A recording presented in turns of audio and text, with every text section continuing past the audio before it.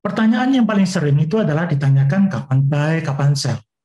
Ya, jadi kalau kita lihat sebenarnya bahwa ketika kita di trading saham itu, sebenarnya ada beberapa step.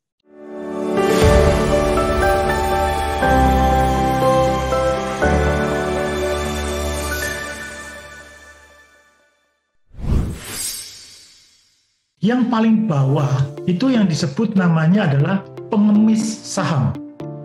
Apa itu pengemis saham? Jadi pengemis saham itu begini, biasanya mereka tanya ini, Pak Ajan, Pak Ajan, besok beli apa ya hari Senin? Itu Pak Ajan mungkin sering kali ya Pak Ajan Pak Ajan boleh bisa beli saham apa yang kira-kira yang yang langsung cuan? Nah itu itu pengemis saham. Betul. Ya itu pengemis saham. Yang kedua itu adalah yang saya sebut namanya buru saham. Buru saham itu apa ya buru saham itu ya jadi mereka ini beli saham ngawur itu terserah pokoknya belinya dan sebagainya. Oh ini ada selebritis beli saham ini ikut beli. Nah kemudian tiba-tiba harganya turun mereka kemudian tanyanya begini ini enaknya diapain ya saham saya? Bisa beli tapi nggak ngerti apa yang dilakukan sama saham tersebut. Itu yang namanya buruh saham. ya kemudian yang ketiga naik kelas itu pelajar saham ya belajar saham ini belajar nih belajar kapan saham apa, kapan buy, kapan sell, ya. Tapi ini benar-benar cuma belajar doang. Jadi mereka tuh benar-benar ya belum terlalu membuat bahwa memikirkan bahwa saham itu benar-benar adalah suatu bisnis yang real gitu loh. Nextnya ya naik tingkat lagi itu yang sudah tingkatannya Pak Ajen, tingkatannya kita itu adalah pedagang saham. Pedagang saham itu tahu saham apa yang dibeli, kapan beli, kapan jual, ya. Dan kemudian ya tahu kapan beli, kapan jual. Terus kemudian apalagi? Kemudian belinya di harga berapa, cut loss-nya di berapa, exit-nya di berapa. Itu penting. Nah, pertanyaan yang paling sering itu adalah karena kalau mengenai investasi saham itu bisa kita nanti Anda bisa memakai istilahnya pendekatan mengenai fundamental tapi kalau kita mau trading saham, mau tradingnya adalah sekitar 3 sampai 5 hari atau sampai satu bulan atau mungkin satu harian atau bahkan beberapa teman saya itu malah tradingnya tuh pakai ya 15 menit, 20 menit sudah selesai. Ya, itu Anda harus memakai analisa teknikal. Ya, tahu kapan buy, kapan sell. Nah, kalau pakai analisa teknikal, Anda harus paling tahu yang disebut namanya adalah namanya Charles Omrido. Ya, ini adalah jadi hmm, kakeknya jadi analisa teknikal. Ya, beliau adalah seorang wartawan dan kemudian teorinya dipublish itu sekitar 1900 sampai 1902. Ya. Kemudian nah sekarang kita bicara sama analisa teknikal. Analisa teknikal itu yang paling sering kita menggunakan grafik ya. Kita sudah tahu itu paling Anda sudah ini pun di mana saja baik di semua sekuritas pasti ada itu grafik ini yaitu apalagi yang kalau di spot. Jadi kita belajar grafik garis, grafik batang, grafik lilin, dan kemudian nah kalau ini candlestick. Nah kalau candlestick itu yang paling terkenal. Jadi begini, saya jelasin dulu selintas. Kenapa sih saham itu naik? Naik itu karena banyak orang yang berani beli di harga lebih mahal. Bukan cuma sekedar beli aja, tapi mereka berani beli lebih mahal, makanya harganya naik. Kadang-kadang misalnya laporan keuangannya dia jelek sekali, utangnya banyak, tapi kenapa kok bisa naik? Ya itu salah satunya karena ada orang yang berani berani beli di harga lebih mahal. Nah, kalau kita perhatikan kalau harga close-nya di atas open, maka tuh biasanya kita kasih itu uh, warna hijau atau warna putih. Ini sudah sangat umum sekali ya. Jadi kalau harga close-nya di atas open, itu berarti lebih banyak orang yang berani beli lebih mahal. Nah, kebalikannya kalau harga close di bawah open, ya, itu berarti ada banyak orang yang terpaksa mereka jual di harga lebih murah. Makanya harganya turun. Ini dikasih harga, dikasih warna merah atau hitam.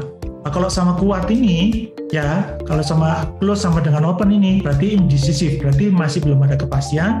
Itu biasa disebut namanya doji.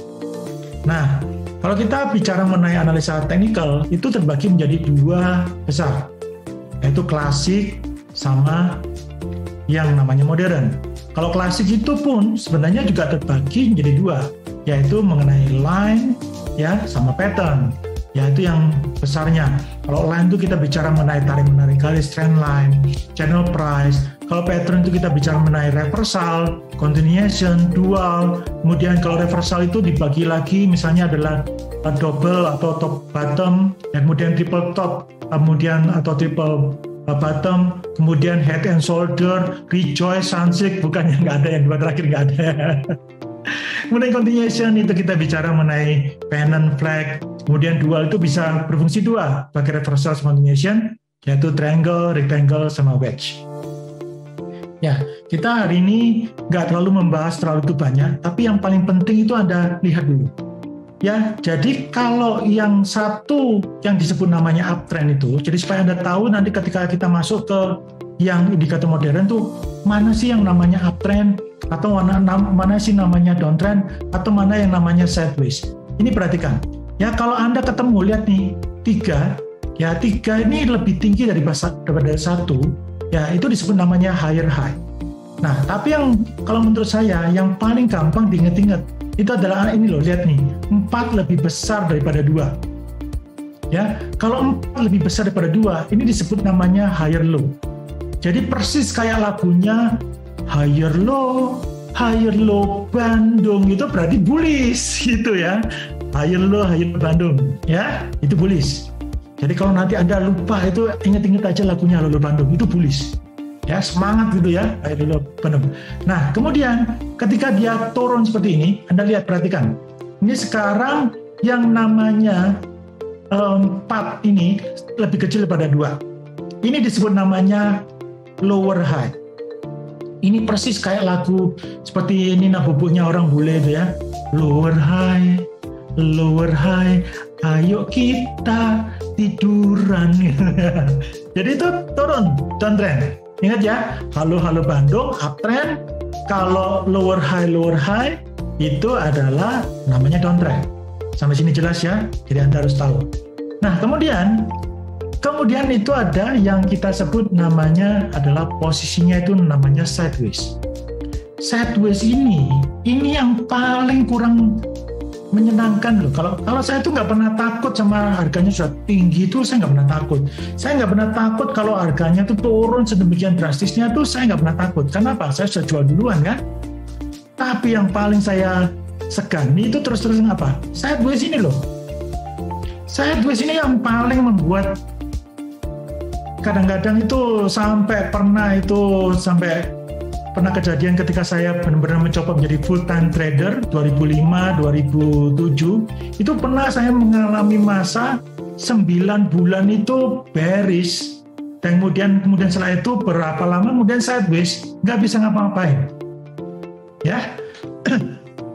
Nah selanjutnya kalau modern. Nah tadi kan kita sudah belajar sedikit mengenai analisa klasik. Nah sekarang modern.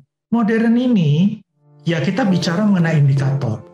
Indikator itu yang paling sering dipakai itu adalah lima kategorinya. Trending, oscillator, kemudian bands, volume, sama support sama resistance. Hmm. Nah, kalau trending itu yang paling sering itu dipakai itu adalah moving average. Moving average itu banyak. Ada moving average, ada simple moving average, ada simple ada kemudian exponential moving average, ada weighted moving average, kemudian banyak sekali. Ada sekitar kalau misalnya kita benar-benar bedah satu persatu, ya itu ada sekitar paling nggak itu sekitar 21 jenis moving average.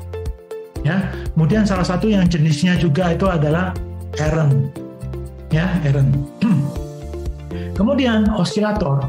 Osilator ini apa? Kalau kalau yang posisinya lagi trending yang seperti tadi uptrend atau downtrend, itu Anda memakai moving average itu enak, cocok banget. Ya. Namun kalau yang trending ini, kalau moving average itu cenderung terlambat. Nah, karena itu namanya disebut itu adalah lagging indikator. Ya. Jadi indikator yang terlambat. Nah, itu masih harus Anda perhatikan banget.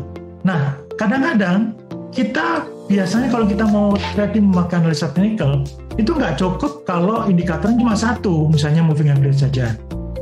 Nah, kadang-kadang ketika dia lagi sideways, itu Anda sebaiknya memakai oscillator. Oscillator itu apa sih? Ada batasannya. Ya, misalnya kalau RSI itu batasannya itu adalah 0 sampai 100. 0 sampai 20 itu disebut namanya adalah oversold, 80 sampai 100 itu namanya overbought. Ya, stokastik juga sama 0 sampai 100. William percent R ini yang dikembangkan oleh Larry William ya, itu agak berbeda. Ya, kalau Larry William ini William percent R ini minus 100 sampai minus 80 itu disebut namanya oversold ya. Kemudian kalau yang minus 20 sampai 0 itu disebut namanya overbought. Nanti sebentar lagi kita akan bahas mengenai itu. Nah, selanjutnya juga yang terkenal itu adalah memakai bands. Band itu banyak, ada yang Bollinger Band yang paling terkenal ya.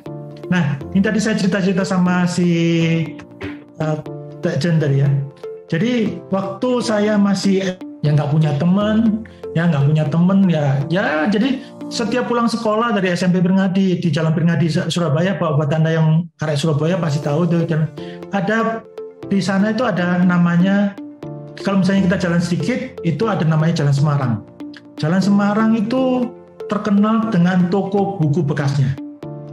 Ya, saya hampir setiap kali pulang sekolah mampir ke sana. Saya baca buku itu dan saya pernah baca mengenai artikel mengenai ya yaitu Bollinger Band ini ya sekitar 8485 ya 8485 itu saya uh, kemudian saya saya lihat di sana wah nih hebat banget ya penciptanya ini Bollinger Band suatu saat saya kepingin ketemu sama si Bollinger Band ini dan Deng di tahun 2012 berapa puluh tahun kemudian saya ketemu beneran sama si Bollinger Band ini. Makanya Anda harus hati-hati dengan pikiran Anda. Kalau pikiran Anda itu maunya maju, pikirannya ke depan mau bagus, kemungkinan besar itu bisa ketemu. Tapi kalau Anda mikirnya itu sangat-sangat negatif, ya terus aja itu ketemu sama hal-hal yang negatif. Nah, kemudian juga kemudian ada namanya volume. Volume itu kita bicara namanya on balance volume. MFI ini juga yang sering saya pakai juga dulu ya namanya adalah money flow index.